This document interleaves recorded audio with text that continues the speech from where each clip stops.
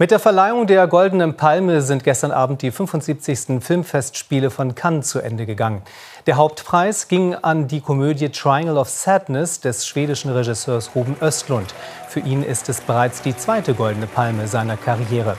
Sein Film spielt in der Welt der Schönen und Reichen.